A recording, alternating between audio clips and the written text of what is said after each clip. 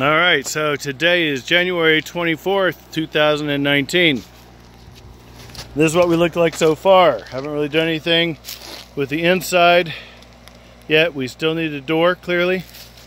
Um, I finished uh, mortaring or cementing the barrel in. And so this is an eight and a quarter by eight and a quarter, uh, give or take a, a smidgen, ceramic insulated panel and uh, two inch.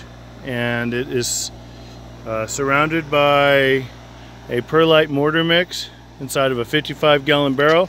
55 gallon barrel sits down there and I've sealed the bottom. Um, yeah I know there's a little piece right there that it's like well what about there? I've actually uh, uh mortared it from underneath. Anyway so uh, I just uh, put that last bit in. These bolts here are to uh, hold up the uh, water and I don't want to mess with that too much. I don't want to uh, loosen it.